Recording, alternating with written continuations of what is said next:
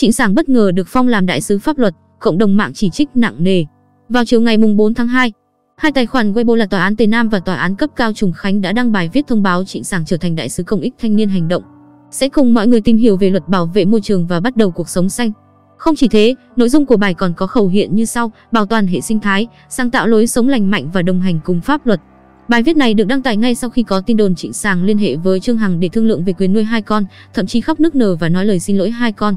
Thông tin này khiến netizen hoang mang tột độ. Trên mạng xã hội, Cnet đều đồng loạt đăng tải những bình luận thể hiện sự phẫn nộ, chuyện gì vậy trời, chỉ cần khóc lóc và xin lỗi là xong ư?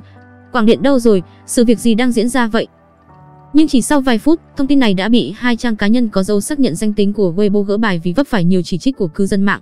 Nhiều netizen khác nhận định rằng rất có thể bài viết đã này đã được hẹn giờ từ trước, tuy nhiên phía công bố lại quên không xóa bài sau khi scandal xảy ra, dẫn tới sự việc giờ khóc giờ cười.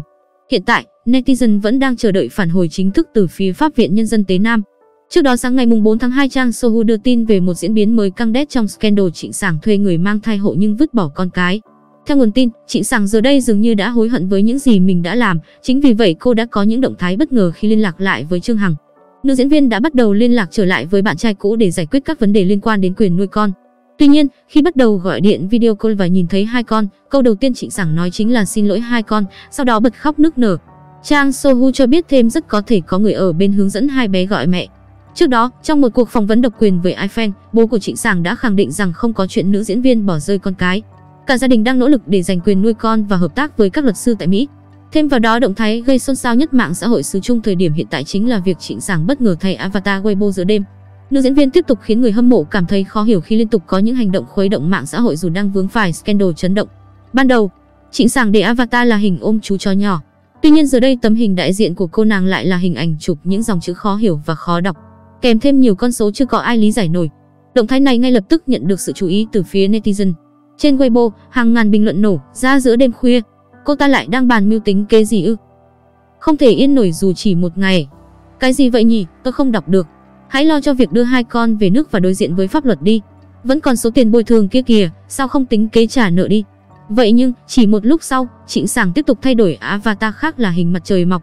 Một vài bình luận cho hay, có lẽ nữ diễn viên đang muốn truyền tải thông điệp, sau cơn mưa trời lại sáng, một ngày mới lại đến, tương ứng với một khởi đầu mới rạng rỡ hơn. Đồng thời, studio quản lý của Trịnh Sảng cũng nối gót nữ diễn viên khi thấy ảnh đại diện mới cũng là một bầu trời rực rỡ, sáng sủa. Hành động này của nàng bối Vivi được chia sẻ giữa lúc truyền thông xứ Trung kháo nhau về việc nữ diễn viên sẽ sang Mỹ và giành quyền nuôi con với Trương Hằng. Không ít bình luận cho rằng chỉ có giải quyết dứt điểm và chịu trách nhiệm với hai đứa con thơ dại, Trịnh Sảng mới làm nguôi ngoai được sự giận dữ của công chúng. Trịnh Sảng, Trương Hằng yêu nhau năm 2018, làm thủ tục thuê người mang thai hồi đầu năm 2019. Tháng 9 năm 2019, chuyện tình tan vỡ, khi hai gia đình gặp nhau, bố mẹ Trịnh Sảng đề nghị đem cháu cho người khác trong khi Trịnh Sảng nói muốn bỏ con. Buổi nói chuyện được phía Trương Hằng ghi âm.